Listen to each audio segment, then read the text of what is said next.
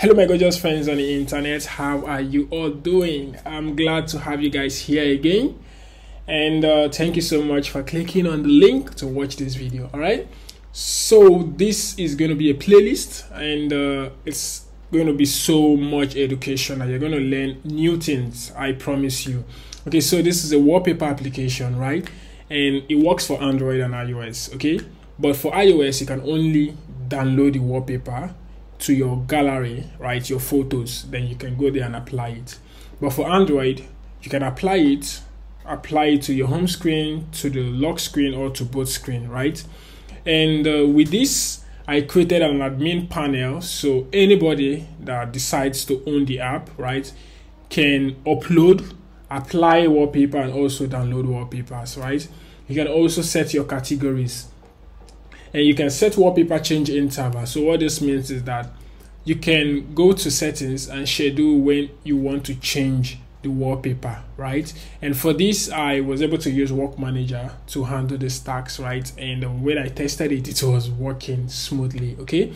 And also be able to add to favorites. Also, you will be able to download your wallpaper, just as I said initially. So you can add to favorite, delete from favorite, view your favorite items, right? And all this is going to be done with Firebase, right? Then let's look at what you're going to learn in this tutorial. We are going to be using Provider as the preferred uh, state management. I love Provider a lot. I use it in a lot of my projects and sometimes I use BLoC. But Provider gives me uh, what I want, right? So I just stick with it. So you're going to learn how to effectively use Provider for managing your states you're also going to learn how to create utils files to make your work easier while you're building your applications. You're also going to learn uh, clean patterns uh, when it comes to separation of concerns. Okay. You're also going to learn the use of Firebase services. So we're going to be using the Firebase Auth. We are going to be using Firebase cloud storage. We're going to be using Firebase uh, storage, Cloud Firestore.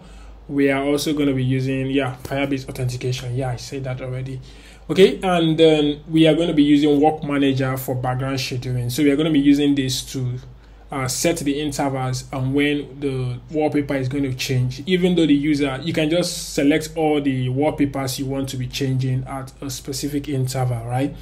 Then you can close the app and the work manager will take everything right? And to start uh, doing its work on behind the scene right in the background okay? And your wallpaper will be changing every x amount of minutes.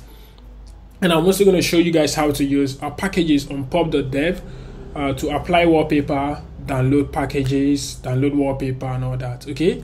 And we are also going to be seeing how to use path provider to use you know get a part from the device and also this project is different from what I've been doing before, right? On my previous videos, I've been using layer first approach.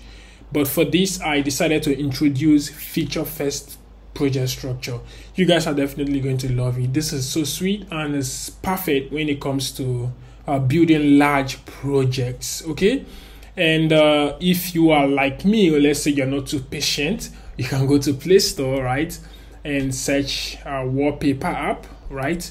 And you're going to see the app is already uploaded, one plus download, and you can just give it a shot, right? Just test it. Once you test it, you see the future. If it's something that you love, then you can now continue with the. You can see where you can set the intervals, right? You can set auto change what you can select the wallpapers you want to be changing, right? So that's pretty much it for this. I just wanted to introduce the whole course and everything